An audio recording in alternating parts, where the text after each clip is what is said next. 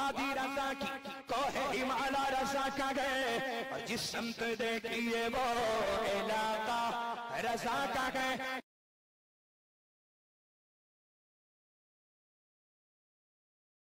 एक सिद्दीकी साहब हैं रोशन बाग इलाहाबाद से उन्होंने सवाल किया है हज़रत मेरा सवाल ये है कि नियत कहाँ पर बांधना चाहिए क्या नाक के ऊपर भी नियत बांधना जायज़ है और रफादैन करने की शरई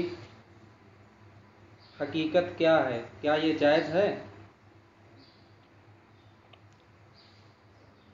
किसी इमाम का ये मसलक नहीं है कि मर्द सीने पर हाथ बांधे।